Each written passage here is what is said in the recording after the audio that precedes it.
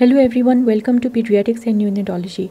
This video is about hypertelorism, recognizing the sign and establishing a differential diagnosis.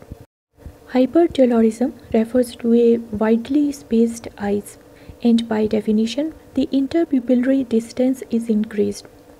A clinical impression of hypertelorism can be created by epicanthic folds, by a depressed nasal bridge or by telecanthus in which the inner canthus is displaced laterally.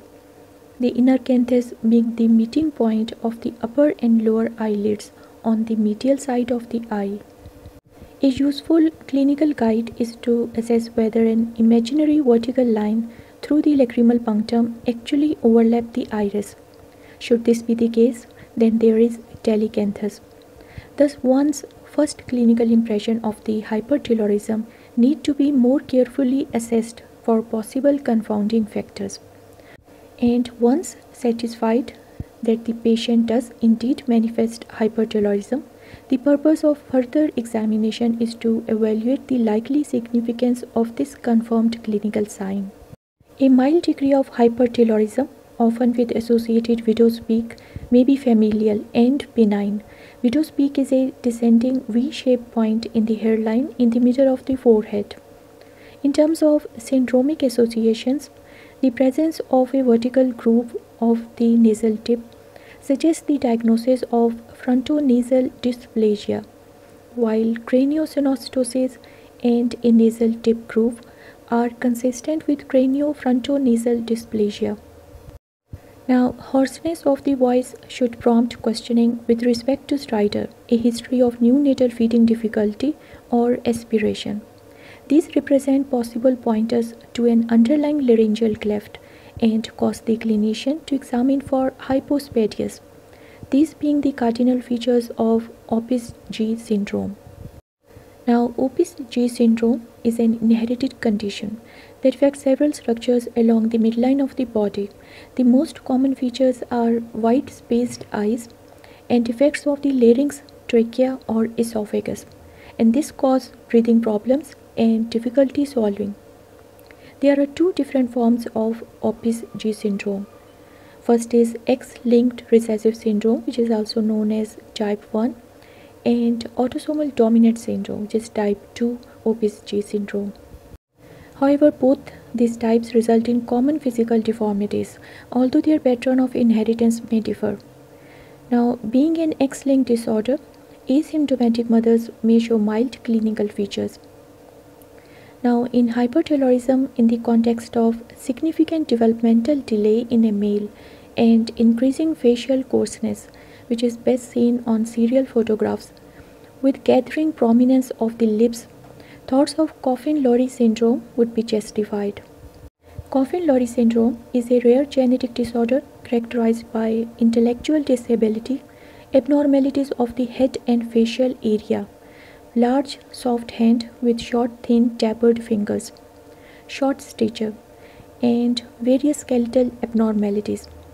Characteristic facial features may include an underdeveloped upper jaw bone, that is maxillary hypoplasia, an abnormally prominent brow, down slanting eyelid folds or palpebral fissures, widely spaced eyes that is hypertelorism, large ears and or unusually thick eyebrows.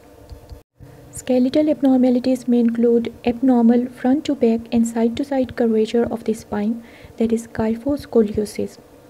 And there is also unusual prominence of the breastbone that is sternum and this is known as pectus carinatum. Many geneticists point to the frequent observation of an accessory transverse hypothenar crease in this patient with Coffin-Lowry syndrome. Now, Coffin-Lowry syndrome is caused by changes or mutation in the RPS6KA3 gene and it is inherited in an X-linked dominant pattern. Males are usually more severely affected than the females. Now, many early cases of a condition known as alpha thalassemia mental retardation syndrome of the X-linked type that is ATRX syndrome were confused with the Coffin-Lowry syndrome, the clinical features being very similar. Now, ATRX syndrome is also known as alpha thalassemia X-linked intellectual disability syndrome or non-deletion type. It is an X-linked recessive condition associated with a mutation in the ATRX gene. Males with this condition, ATRX syndrome, tend to be moderately intellectually disabled and have physical characteristics including coarse facial features, microcephaly, small head size, hypertelorism, widely spaced eyes, a depressed nasal bridge, a dented upper lip, and an everted lower lip. Mild to moderate anemia associated with alpha thalassemia is a part of this condition. Now, females with this mutated gene have no specific signs or features, but if they do, they may demonstrate skewed X chromosome inactivation. Now, in cases of mild developmental delay, especially if associated with short stature, the hypertelorism may be associated with Aarskog syndrome. Aarskog syndrome is an inherited disease that affects a person's height, muscles, skeleton, genitals, and appearance of the face. Intellectual development may also be affected. About 20% of the people with Aarskog syndrome have genetic changes in the FGD1 gene. The cause in other affected individual is unknown. The condition is inherited as an X-linked recessive pattern. Now, Aarskog syndrome is confirmed clinically by observing the digits for brachydactyly, that is short fingers. And this is associated with mild cutaneous syndactyly, that is webbing of the skin between the fingers. In this patient, the scrotum will generally have a shawl configuration. Now some important investigations to consider in a patient with hypertelorism. First is DNA mutation analysis. It is indicated for ATRX and Coffin-Lowry syndrome. Hemoglobin H inclusion bodies on staining with freshly constituted brilliant cresyl blue is a good screening measure for ATRX and it identifies 90% of the cases. Skeletal survey in Aarskog syndrome often shows multiple epiphyseal dysplasia of mild degree.